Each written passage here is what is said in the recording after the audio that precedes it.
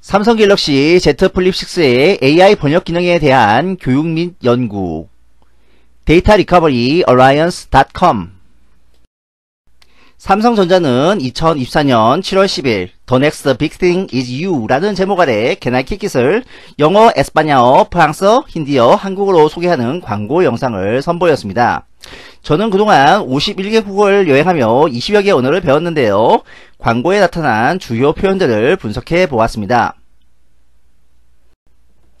먼저 에스파냐어 뿌에도 후갈은 요 뿌에도 후갈에서 나라는 주어 요가 생략된 형태인데요.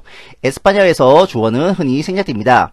뿌에도는 할 수 있다가 1인칭 단수형으로 표시된 것입니다.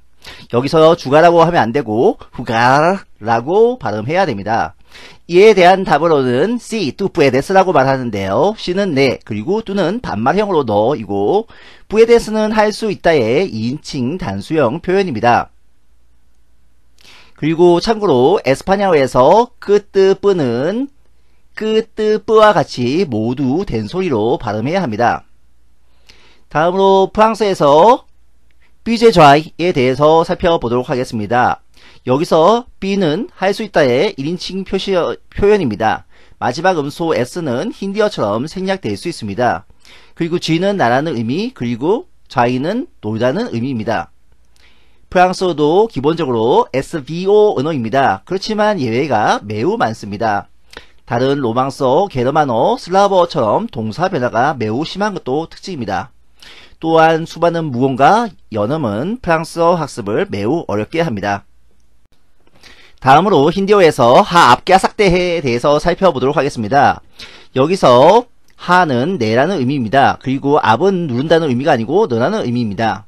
아까 남까해 하면 이름이 모니가 됩니다. 깔은 한다는 의미가 되고 에스파냐처럼 아르 발음을 해주면 됩니다.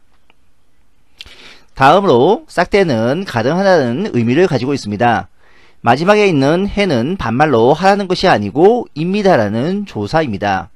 저도 처음에 인도에 갔을 때에는 어린애들이 말끝마다 저에게 반말을 하는 줄 알았습니다. 현대차가 있는 인도 첸나이에서는 타미러를 사용하는데요. 타미러에는 언니, 궁디, 메뚜기처럼 한국어와 유사한 단어가 정말 많습니다. 그 이후로는 신라의 시집온 허황우 인맥들이 유래시켰다는 설명이 있습니다. 힌디어는 말레이어나 인도네시아어처럼 한국어와 음가가 같은 단어가 매우 많은 것이 특징입니다. 그리고 한국어 응 당연하지 한국인이라면 이에 대한 추가적인 설명은 필요가 없을 것입니다. 아시는 것처럼 한국의 경우 위 에스파냐처럼 주어가 자주 생략될 수 있습니다. 저는 그동안 수많은 갤럭시 Z 플립을 포함한 삼성 갤럭시 시리즈의 데이터 복구, 디지털 포렌식, 카메라 수리, 전면 액정 수리, 후면 액정 수리, 배터리 수리, 충전 포트 수리, PMIC 수리, 패턴 해제 등을 진행해 왔는데요. 관련된 문의는 010-2734-3535 여정현 부장으로 연락 주시기 바랍니다. 감사합니다.